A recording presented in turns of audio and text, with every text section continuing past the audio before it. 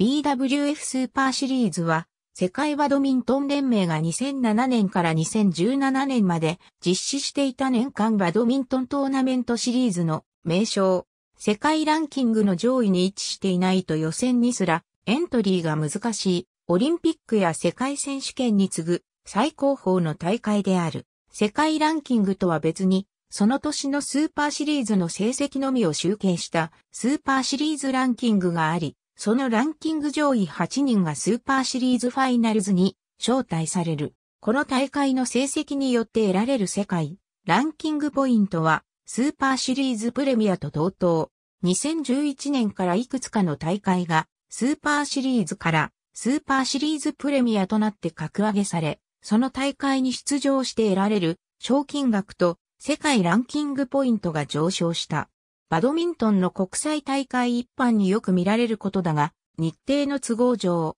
平日の昼間に行われる試合時には、観客席に空席が目立つことが多い。スーパーシリーズやスーパーシリーズプレミアとなると1回戦から高カードが多く非常にもったいないという意見がある。また、1回戦は試合数が多いため、コートの数によっては予定されているすべての試合の終了時刻が深夜に及ぶことがある。2017年3月に世界バドミントン連盟は2018年から BWF スーパーシリーズに代わり BWF ワールドツアーを実施することを発表した。スーパーシリーズ、スーパーシリーズプレミアスーパーシリーズプレミアスーパー、シリーズスーパーシリーズファイナルズ日付はいずれも現地時間各種目の優勝選手 BWF Launches Super Series。バドミントンオーストラリア http コロンスラッシュスラッシュ www.badminton.org.au スラッシュインデックス .php イドイコール 22&tx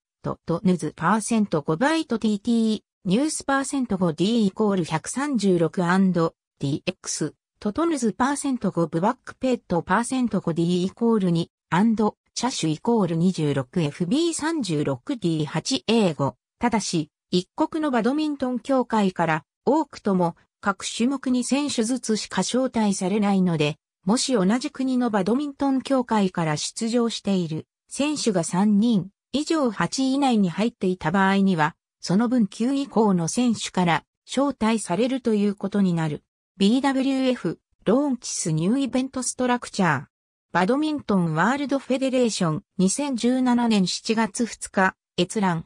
Dubai World Superseries Finals 2017。ハット Dubai World Superseries Finals 2016。Dubai World Superseries Finals 2015。ハット BWF Destination。Dubai World Superseries Finals。ハット BWF World Superseries Finals 2013、BWF Superseries Finals 2012 TOURNAMENTSOFTWARE.com LI NING BWF World Superseries Finals 2011 TOURNAMENTSOFTWARE.com VICTOR BWF Superseries Finals 2010 TOURNAMENTSOFTWARE.com YONEX Sunrise。BWF World Superseries Masters Finals 2009 TOURNAMENTSOFTWARE.com は World Superseries Masters Finals 2008